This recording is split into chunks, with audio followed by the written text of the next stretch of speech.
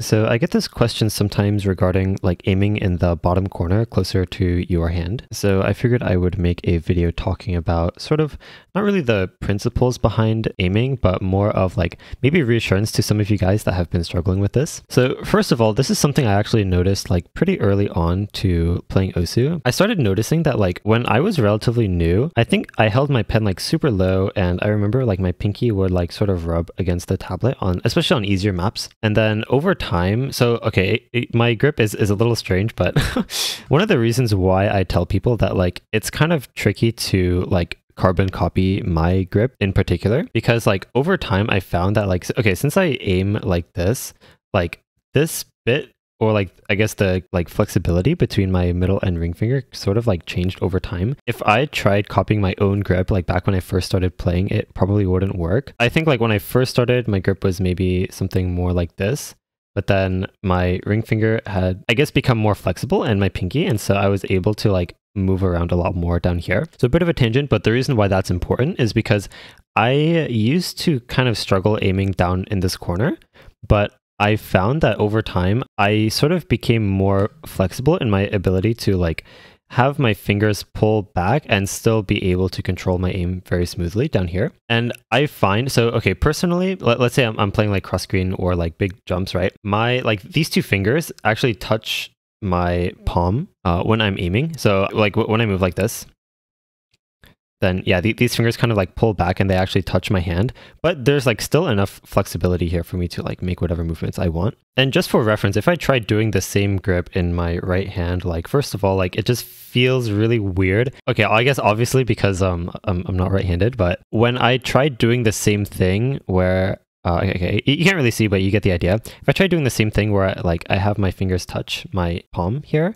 like I just have absolutely no control. Okay, you can't even see. I guess it's better if you can't see, but um, yeah, you, you get the idea. So when I started playing, and, and this is sort of a tangent as to like what exactly I was focused on as a player when I was pretty new. Whenever I would watch replays of like top players or you know replays of other people playing the game, I would watch the cursor movement specifically, and like so really old Osu replays like the replay data was saved in like a really minimal way, basically. So like the cursor movement didn't have much detail and it was very like smooth and, and snappy. But I saw that cursor movement and I was like, oh my god, okay, if I want to be a top player, I need to figure out how the heck these guys move their cursors so smoothly. Th- this is sort of what led to me like inventing the auto method, I guess, or it didn't have a name back then, but like when I started playing, I was like, oh, just practice like moving so perfectly. And I started as a hover player. I actually still hover. So yeah, I spent so much time, like sometimes I would sit in class, this is like middle school, okay, or like early high school, and I would sit with like my pencil in my hand and I would try to like hold my hand completely still and like just not have my hand shake at all. That that was sort of like what, what was going through my head during high school. Okay. the point is that I really spent a lot of time focused on like cursor stability in particular. And okay, there's one pattern in particular. Let me see if I can find it for you guys. I remember like not being able to aim it very comfortably. Oh man, yep. Okay, look at this pattern, guys. Okay, my, my hand cam is kind of blocking it, but not really.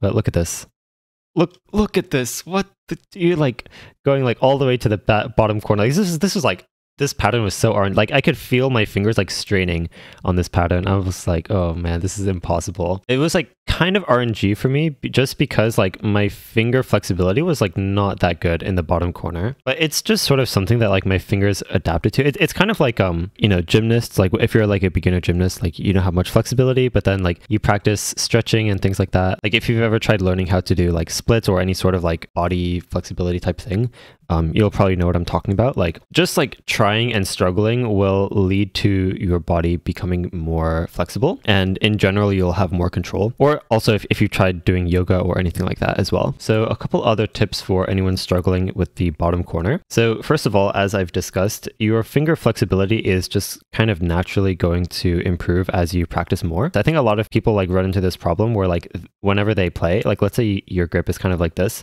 and then you can't aim on the side closer to your hand because like you just make a fist and now like how are you supposed to control anything back here? So putting your hand further back and sort of giving yourself that room because chances are you can flex out like this and still move around much more easily than you can like make a fist and and try to aim comfortably like this. So another thing you can experiment with is like putting your hand sort of like forward like this, and now you sort of have room. Some people even like lift, or I, I guess they at least have their elbow anchored, but they sort of like have their pen like this. So there's a lot more mobility.